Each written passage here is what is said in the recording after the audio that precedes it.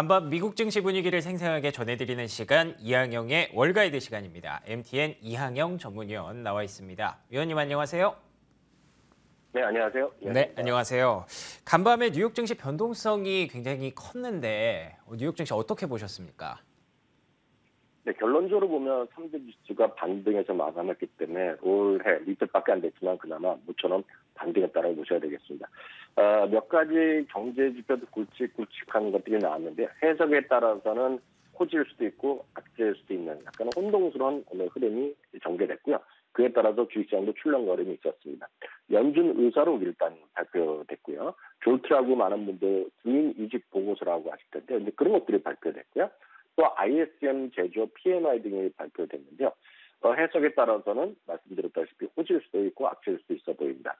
여하튼 잠시 말씀드리겠고요. 커뮤니케이션 어, 섹터가 이틀 연속 반등했고요. 금 가격의 반등에 따라서 소재주가 최근에 잘 나가고 있습니다. 부동산도 어제에 이어서 이틀째 반등했고요. 반면에 이틀 동안 계속 하락했던 주요한 섹터는 어, 어, 유가가 어제도 많이 내리고 오늘도 내렸거든요. 에너지가 떨어지고요. 기술주는 오늘까지 해서 이틀째 부진한 모습을 보이셨습니다. 오늘 있었던 한 가지씩 한 가지 살펴보겠습니다. 우선 연준 의사록입니다. 야, 사실 어느 정도 다들 예상했던 부분이고 이미 FOMC에서 이미 알려졌던 얘기지만요. 인플레이션을 완화를 위한 금리 인상은 지속적으로 날 것이라는 아주 원론적인 입장이 재확인됐습니다. 다만 이 발표 나오기 직전에요. 미네아폴리스 연방은행 총재는 가시카리 총재는 이런 얘기를 했습니다. 기준금리가 5.4% 가까이 오를 수밖에 없다라는 얘기를 하고 있고요. 물론 하반기에는 어느 정도 정체될 것을 얘기하고 내려갈 수도 있다는 암시를 했지만 결국은 기준금리가 조금 더 올라갈 수 있다는 그런 해석의 여지를 분명히 남겼다고 보셔야 되겠습니다.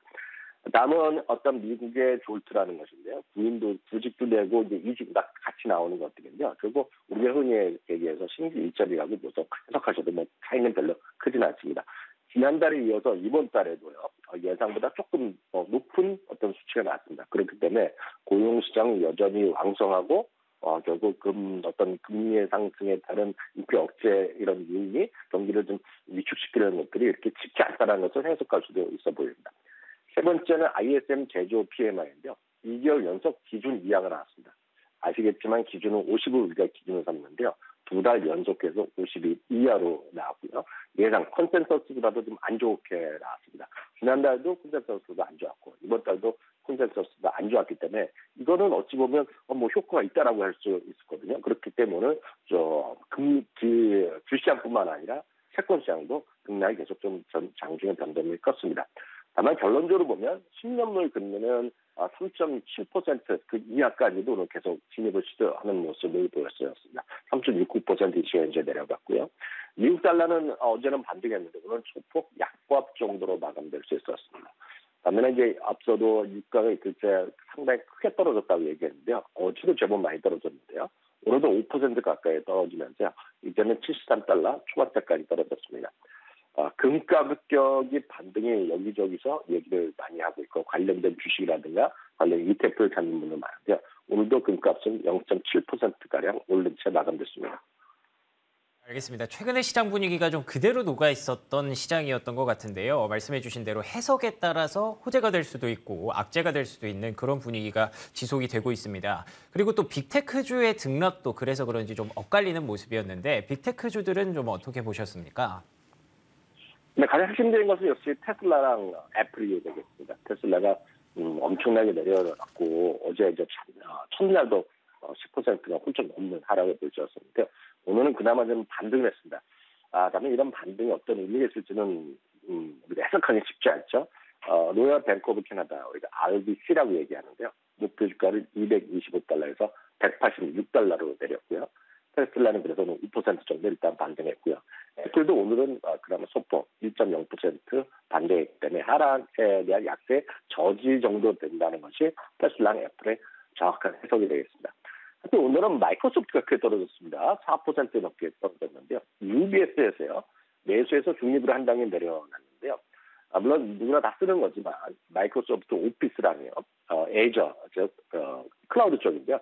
애저의 성장세가 둔화될 수 있다는 우려감을 안기면서 오늘 마이크로소프트가 4% 떨어진 것이 오늘 어, 미국 주식에서는 가장 큰 관심 특징주를 잡는다면 마이크로소프트가 되겠습니다. 알겠습니다. 마이크로소프트 애저의 성장세가 둔화될 것으로 우려된다는 어, 보고서가 나오면서 매수에서 중립으로 하향 조정되면서 주가가 좀 빠졌고요. 어, 그래도 또 뉴욕 증시 전반적으로 그렇게 나쁘지만은 않았다고 느껴지는 게 소비주의 강세가 지속되고 있고요. 또 어제 국내 증시에서 확인할 수 있었던 반도체주의 반등이 뉴욕 증시에서도 좀 나타났습니다. 다른 특징주들도 한번 짚어주시죠. 네, 그 크루즈 선사인 카니발입니다. 카니발이 어, 이번에 가격 인상, 운임 인상을 발표했거든요. 이것이 오늘 호재로 인식 반영되면서 9%밖에 올라갔고요. 바이오 증권에서 마이크론 테크놀로지의 목표 그 투 목표 주가를 올린 건 아닌데요. 매수 의견과 65달러를 제안했습니다. 알다시피 마이크론 테크놀로지 연말에 실적 발표하면서 아주 형편없는 실적 발표했면서 주가 아주 안 좋았는데 요. 오늘 모처럼 그 레포트의 어떤 기반으로 해서 7% 정도 급등했고요. 어, 대만 반도체 TSMC죠. 어, 오늘 3% 가까이 올라갔는데요. 모건 스탠리에서 반도체 중에 top pick이라고 얘기하면서 50% 정도 상승 여력이 있다고 얘기했습니다. 그래서 웰스파고에서는 업종 내 top pick을 은행 업종 내 top pick을 뱅크 오브 아메리카를 제시했는데요. 1.8% 주가가 올라갔습니다. 어제도 말씀드렸고 연말에도 저희가 몇 차례 말씀드린 주식입니다. 아, 유통업체 중에 파트를 여기저기서 SM 바디 웍스를 얘기한다고 말씀드렸고 어저께도 좀더 자세히 말씀드렸는데요. 오늘 파이퍼 샌들러라는 곳에서도 동참했습니다. 목표주가 50에서 52달러. 그게 1달러밖에 올리지 않았지만요. 주가는 큰 반향을 일으켰습니다. 무려 10.5%나 어, 갭을 동반하면서 급등하는 모습이었습니다. 해외 비즈니스 그리고 뷰티 비즈니스를 강화한다는 것이 어, 나름대로는 긍정적으로 해석을 했고요. 최근 들어서 유가가 좀 음, 하락하면서 어, 어떤 항공주에도 영향이 있는지 모르겠는데요. 오늘 유나이티드 항공을 비롯한 항공주들이 모처럼 올라갔습니다. 한편으로 스타벅스 얘기를 잠깐 추가적으로 해드리겠는데요. 결론적으로 보면 3.6%나 올라가면서요. 직전 어떤 고점대, 12월 초의 고점대를 어, 돌파하는 그런 기세를 보이고 있는데요. 어, 우리나라도 이제 연말 연초뿐만 아니라 보통 때 상품권을 많이 줍니다. 드리고 받지 않습니까? 그래서 우리가 뭐 카카오나 이런 거 쓰시면서 생일이면 우리가 어, 흔한 얘기로 별다방 기프트 그, 콘 이런 거 많이 받으실 텐데요. 해외도 마찬가지입니다. 해외는 이제 어, 기프트 카드를 많이 주고 뭐 디지털도 있고 다 있는데요. 그래서 엄청나게 팔리고 있다는 겁니다. 어, 4분기는 통상적으로 전분기, 3분기 대비 30에서 40% 팔리는데 더 팔리는데 이번에도 마찬가지라고 그러고 있고요. 흥미로운 통계입니다. 저도 이 통계를 보고 깜짝 놀랐는데요. 미국인이요. 전체 6명 중에 1명이 작년 4분기, 3분기, 3개월 동안에 최소한 하나 이상의 스타벅스 기프트 카드를 받았다는 겁니다. 문제는 이제 이런 회사들의 특징이 되겠는데요. 기프트 카드를 미리 팔면 일종의 부채로 잡습니다. 왜냐하면 언젠가를 물건을 돌려줘, 돌려줘야 되는 거거든요. 근데 이게 어, 지금 현재 작년 초 현재 잔고 20억 달러고 이번에는 아직 발표가 안 됐는데요. 이 중에 약 10분의 1 정도, 그러니까 5분의 1 정도, 1.8억 달러는 영원히 쓰여지지 않는 돈이라고 합니다. 그러니까 어찌 보면 계속해서 여러분들 쓰면 쓸수록 사람들이 주고받을수록 우리도 기프트콘 잊어버려서 못 쓰는 경우 있지 않습니까? 그런 얘기인데요. 돈이 그냥 그냥 돈이 들어오는 거죠. 팔리면 팔릴수록 5분의 1은 그냥 남는 돈입니다. 지금 그런 것들에 오는 평가 재평가 나오면서 오늘 스타벅스가 4% 가까이 올라갔고요. 어, 세일즈폭스까지 말씀드렸습니다. 어, 세일즈폭스가 작년에 워낙 안 좋았고 어, 앞으로 이제 구조조정 얘기를 했는데요. 10% 인력 감정, 감축을 구체적으로 발표하면서요. 오늘 주가는 3.5% 반등한 것이 특징이 되겠습니다.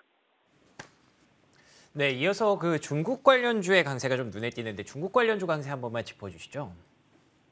네, 어, 중국 관련 기업에서는 이제 최근에 좀 반등세를 이어가고 있습니다. 대표적인 것이 금값 자체가 올라간다는 것도 중국인들이 어, 어, 금에 대한 수요가 늘어나고 있고 현물금에 대한 걸 많이 산다는 얘기 해드렸는데요.